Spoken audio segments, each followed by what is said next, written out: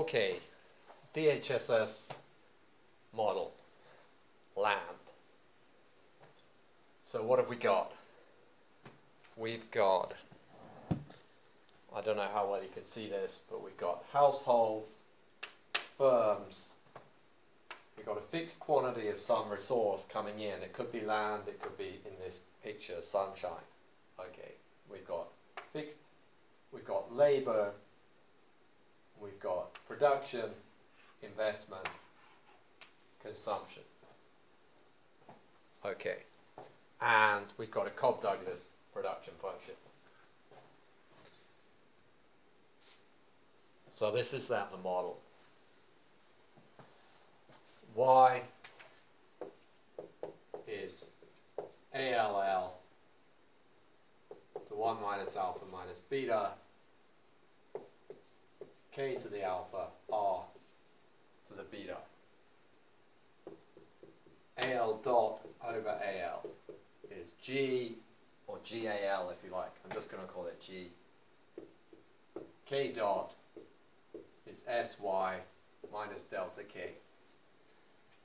So those are all the equations you've got. So let's assume then that labor L or population is just constant. And then we're told, assume balanced growth, characterize the balanced growth path. Okay, so how are we going to do this? We're going to use the techniques we used with, on the Solow model earlier, looking when we looked at balanced growth there. Plus a bit more. So on balanced growth, anything that's growing is growing at a constant rate. And a constant rate means that, for instance, k dot over k is constant. So if we take this equation and divide by k, we end up with k dot over k is s y over k minus delta is constant. So let's call it, well, we can call it whatever. Well, whatever. It's constant. So which means if this whole thing is constant, delta is constant, so y over k must also be constant. Okay.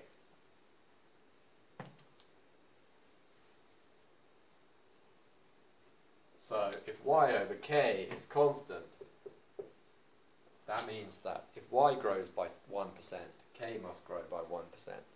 Yeah? Which means that y dot over y must be equal to k dot over k on the balanced growth path we assume, we've assumed we want, we're on a balanced growth path. That implies that this must hold. So that's the first thing we know about the BGP. y dot over y is k dot over k. We also know that AL dot over AL is G. But what more can we find out? To find out more, we need to differentiate this with respect to time. So, dy dt which is just y dot, isn't it, is equal to.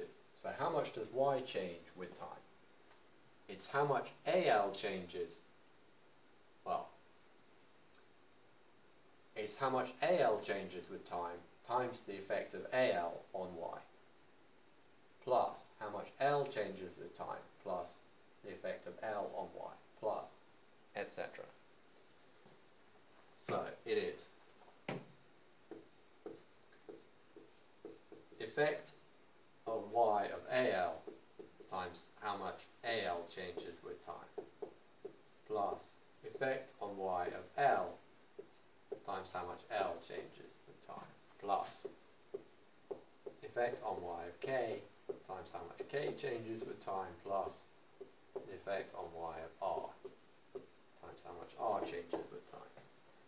The dy dAl is 1 minus alpha minus beta times y over L.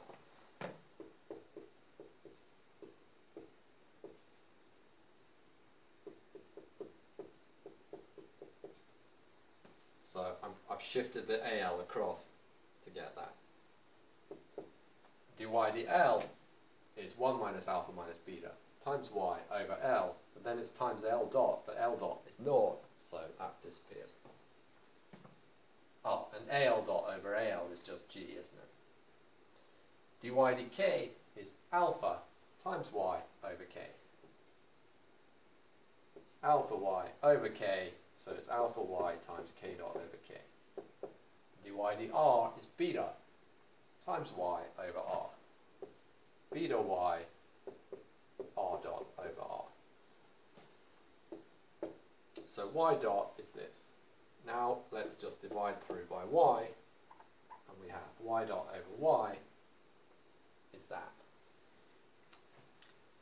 Okay, now we're getting somewhere. Now, k dot over k is the same as y dot over this, so this applies anywhere, yeah, not just on balanced growth.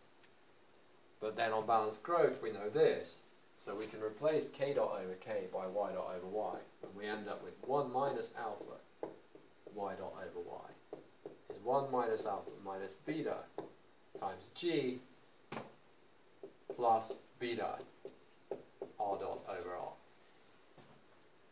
Divide through by 1 minus alpha, and we get that. So this applies on the balanced growth path. y dot over y is 1 minus beta over 1 minus alpha g plus beta over 1 minus alpha r dot over r. Oh, but wait, this was land. What do we know about r dot over r? It's 0. So that goes out. So, what did we get in Solow? In Solow we got that y dot over y is g. But in Solow, beta is 0. When beta is 0, we're back with Solow, aren't we? So this fits, because when we set beta to 0, y dot over y is g. But the bigger is beta, the less is y dot over y, with constant r, yeah, so this drops out. So what's going on? We've got this factor of production which you can't increase over time. So that puts a drag on growth because otherwise in balanced growth K grows at the same rate as AL and everything and Y also grows at the same rate as AL. But when this one comes into the production function and can't grow, that puts a drag on the growth rate. Super straightforward.